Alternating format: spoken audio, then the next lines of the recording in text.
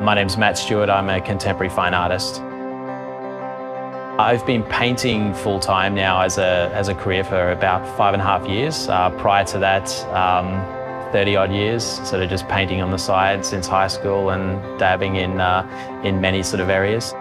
My style is actually really hard to put into words. Um, someone has actually called it uh, pop art with a street art edge. Um, that's probably the best description of it, but I do use acrylics and aerosols, which probably gives people that sort of idea that I do have sort of areas pulling from both those sort of genres going back to the basics of it, um, I just love the freedom of it. Um, you can actually tell a story through it. Um, and most importantly, I think at the end of the day, you're creating something uh, beautiful in the eyes of uh, different people.